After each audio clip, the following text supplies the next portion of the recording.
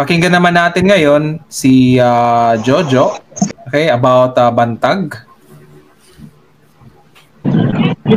Ayan, unang-una, maganda itong ginawa mo, uh, Kaloy, ng bagong lipunan. Kasi ginather mo yung mga bantag vloggers. Actually, coming from your idea, sabi mo, uh, why not na mag-ipon-ipon tayo mga bantag vloggers. So sabi ko, maganda tong idea na to. Kasi somehow, I think, uh, may bibigyan natin yung ating mga uh, input. ano Kasi sa ngayon, yung mga sana mga supporters ni Bantag dyan, huwag kayong magtatampo na bakit yung uh, sasabihin ng iba na bakit hindi na natin masyadong kinocover si Bantag. Uh, we have to understand na at this point in time, hindi natin na basta-basta pwedeng i-cover or pag-usapan kay si CJ Bantag kasi nga nasa stage na siya na nakasuhan na siya eh.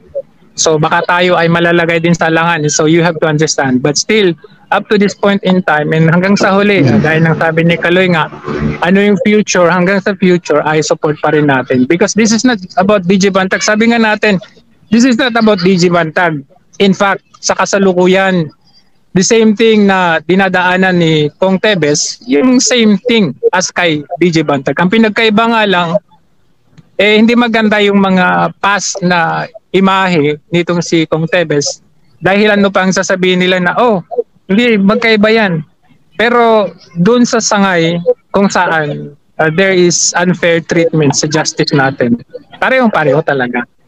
So kung actually na-vlog na natin ito yung sinasabi natin na kung noong araw dito kay Bantag itong si si DOJ Rimulya parang siya yung in charge doon sa Bucor siya yung humawak nun kasi parang gusto niya hawakan ay yung Bucor. At dito naman kay Kong Tebes, malinaw naman kung ano ang nasa likod nito yung business sa Negros which is isa nga doon is yung sabungan. Nahawak naman itong si Abalos. So parang nagtandem, nagduo itong dalawang ito. Parehang pareho yung ginagawa nila. So ayun lang naman ang ano natin dyan. Uh, huwag kayo magtatampo hanggang sa huli ay bantag pa rin naman tayo. At hindi tayo titigil dahil hindi ito about bantag, hindi about Tevez, but it's also about our country, uh, which which leads uh, doon sa sinasabi ni Kaloy. Actually, galing na kay Kaloy ito yung plan B natin na sana, sana, one day, merong isa, dalawa, isang grupong mag-lead. Ano, na, kasi syempre, alam yung parang yung nangyari sa EDSA na meron talagang nag-lead. So yun yung inaantay natin. Dahil at this point in time, alam ko marami na rin ang punong-puno. In fact, sa Mindanao nga, part of Mindanao, sabi nila, bakit ngayon laging brown out? Unlike the past administration, hindi naman ganun. Bakit ngayon halos araw-araw brown out hanggang alas 10, alas 11 ng hanggang gabi, tas bukas ganun na naman.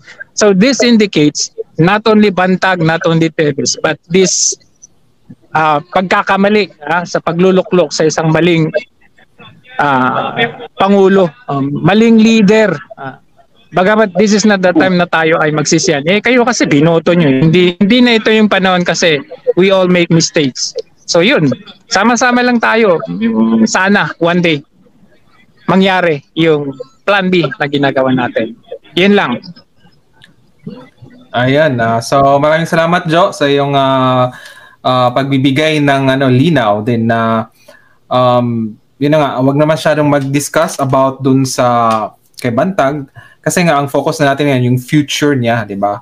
And then we are hoping that uh, plan B, okay, ay tuloy-tuloy na na parang uh, alam naman natin na we can't trust the justice system right now kasi nga Bantag case, Teves case, so 'di ba, hindi naman tayo bulag nakukuha naman natin yung both sides and alam naman natin talaga na may pagkabayas din itong si Boyeng Rimulya.